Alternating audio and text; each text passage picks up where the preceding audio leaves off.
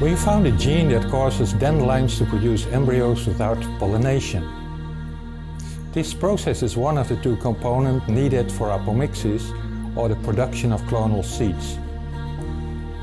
Apomixis in crops would enable faster and cheaper plant breeding. Normally plants reproduce by sex, which means they need to be pollinated to produce seeds. But only about 400 different plant species can instead produce seeds without pollination, so by apomixis. On those plants, the seeds are genetically identical to the mother plant.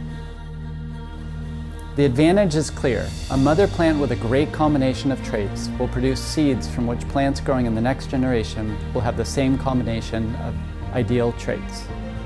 Our team has identified a critical gene needed to obtain apomixis in dandelions, and the results have been published in Nature Genetics.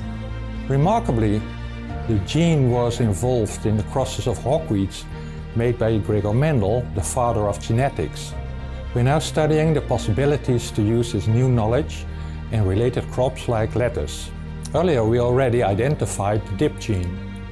And this DIP gene controls the second component of apomixis, called apomeiosis. When we succeed to introduce apomixis in crops, a wide range of innovations lays ahead. Breeders can work faster and develop unique varieties. Farmers and plant and food industry will benefit from the fact that unique combinations of traits in a single plant can be kept in the offspring. This will easily lead to crops having the same great combinations of traits as that original mother plant. So please visit the website to learn more about our invention and about the innovations thanks to Apomixis.